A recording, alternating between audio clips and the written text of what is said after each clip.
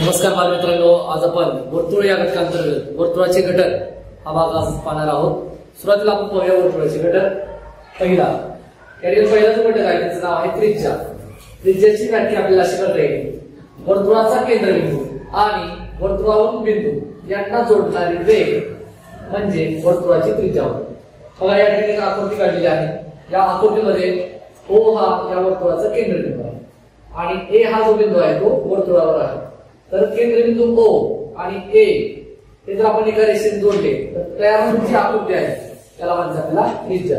तर या ठिकाणी या वर्तुळामध्ये जी त्रिज्या आहे तिचं नाव आहे त्रिज्या ओ ए बघा वर्तुळाचा केंद्रबिंदू आणि वर्तुळावरील कोणताही एक बिंदू यांना जोडणारी जी रेषा आहे त्याला म्हणतात आपला वर्तुळाची त्रिज्या. आता वर्तुळावर असंख्य बिंदू आहेत त्यामुळे या वर्तुळाला असंख्य त्रिज्या आहे यानंतर दुसरा जो घटक आहे त्याचं नाव आहे जीवा. त्याची व्याख्या बघा. वर्तुळावरील कोणतेही दोन बिंदू जोडणारी रेघ म्हणजेच वर्तुळाची जीवा होय. तर बघा आता वर्तुळावर असंख्य बिंदू आहेत. त्या असंख्य बिंदूंपासून कोणतेही जर दोन बिंदू आपण एका रेषेने जोडले तर तयार म्हणून जी आकृती आहे. त्याला म्हणतात आपल्याला जीवा. तर या वर्तुळामध्ये वर्तुळावरील सी आणि डी बिंदू ही एका रेषेने जोडलेले आहेत. यापासून तयार झालेली जी आकृती आहे याला म्हणतात आपल्याला जीवा. तर या वर्तुळाची जीवा ही जीवा सी. ज्याप्रमाणे आपण पाहिले की एका वर्तुळाला असंख्य त्रिज्या असतात. त्याप्रमाणेच वर्तुळाला असंख्य जीवा देखील असतात.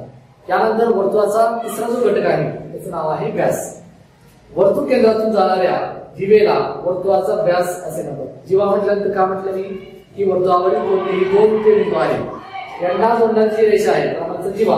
आणि ही जर जीवा वर्तुळाच्या केंद्रातून जात असेल तर त्या त्यामध्ये जी रेषा आहे त्याला म्हणतात आपल्याला व्यास. तर या ठिकाणी बघा जी आकृती आपण काढलेली आहे या आकृतीमध्ये पी आणि एम हे जे दोन बिंदू आहेत ते वर्तुळावर आहेत. आणि वर्तुळावर दोन बिंदूंना जोडणारी जी रेषा असते त्याला म्हणतात जीवा. तर ही जी जीवा आहे पीएम ही वर्तुळ केंद्रातून जाते. म्हणून या पीएम या जीवेला आपल्याला म्हणायचं वर्तुळाचा व्यास.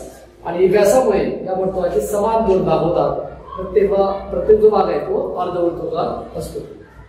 विद्यार्थी मित्रांनो एका वर्तुळाला अनेक त्रिज्या अनेक जीवा व अनेक व्यास असतात.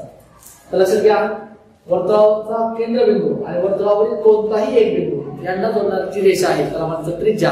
आणि वर्तुळावरील कोणत्याही दोन बिंदूंना जोडणारी रेषा आहे. त्याला म्हणायचं जीवा. आणि ही जर जीवा वर्तुळ केंद्रातून जात असेल तर त्या जीवेला आपल्याला म्हणायचे व्यास. आणि सर्वात महत्वाचं लक्षात ठेवा एका वर्तुळाला अनेक त्रिज्या अनेक जीवा व अनेक व्यास असतात.